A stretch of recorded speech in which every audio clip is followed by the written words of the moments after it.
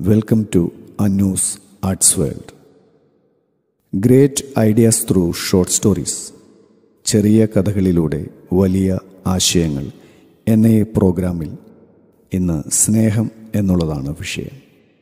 യഥാർത്ഥമായ സ്നേഹം നിറഞ്ഞു തൂവുന്ന നിഷ്കളങ്കമായ സ്നേഹം. ഒരു കഥ കേൾക്കും. ഒരു തോട്ടമുടമസ്ഥൻ തന്റെ വീടിന് മുന്നിലെ പുൽത്തകിടിയിലെ വളർന്നു മുറ്റി നിൽക്കുന്ന പുല്ലുകൾ വെട്ടിയൊതുക്കുവാനായി ഒരു ബാലനെ ജോലി ഏൽപ്പിക്കുന്നു പുല്ലുവെട്ടി യന്ത്രവുമായി അവൻ വളരെ തിടുക്കപ്പെട്ട് ജോലി ചെയ്യുകയാണ്. പണി തീരാറായപ്പോൾ എത്തിയ ഉടമസ്ഥന് അതത്ര തൃപ്തികരമായി തോന്നിയില്ല.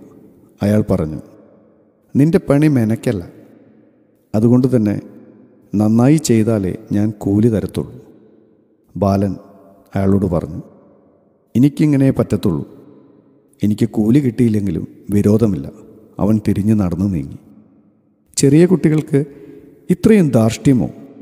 എന്നയാൾ പിറുപിറുത്തുകൊണ്ട് പുൽത്തകിടിക്ക് മീതെ നടന്നു. അവൻ വെട്ടാതെ ഒഴിവാക്കിയ ഇടങ്ങളിലൊക്കെ അയാൾ നോക്കി. അപ്പോൾ അവിടെയൊക്കെ കുറേ തവളകളും അതിന്റെ കുഞ്ഞുങ്ങളുമുണ്ടായിരുന്നു. എവിടെയൊക്കെ സ്നേഹമുണ്ടോ അവിടെയൊക്കെയും ചില ക്രമലംഘനങ്ങൾ ഉണ്ടാകുമെന്നോർത്ത് അയാൾ നെടുവീർപ്പിട്ടു.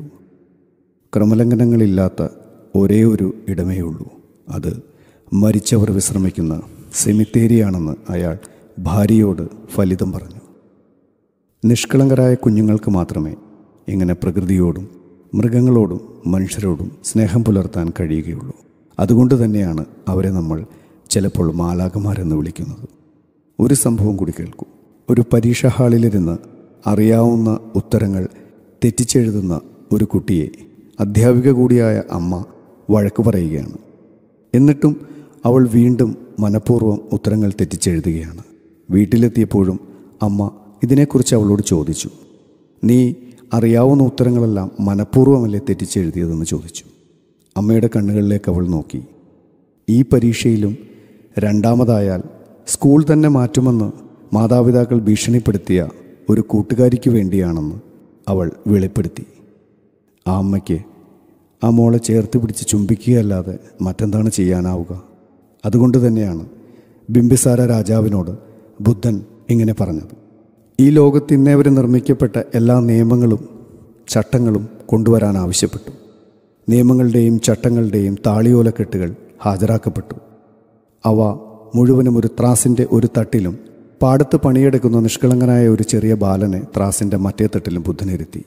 ഒരു നിമിഷാർത്ഥം കൊണ്ട് താളിയോല കെട്ടുകളിരുന്ന ത്രാസിന്റെ തട്ട് ഉയർന്നു പൊങ്ങി. ബുദ്ധൻ മെല്ലെ മന്ത്രിച്ചു ഈ ലോകത്തെ ഏറ്റവും ഉത്കൃഷ്ട ഗ്രന്ഥത്തെക്കാളും മേന്മയേറിയതാണ് ഒരു ചെറിയ കുട്ടി. ഏവർക്കും ശുഭദിനം.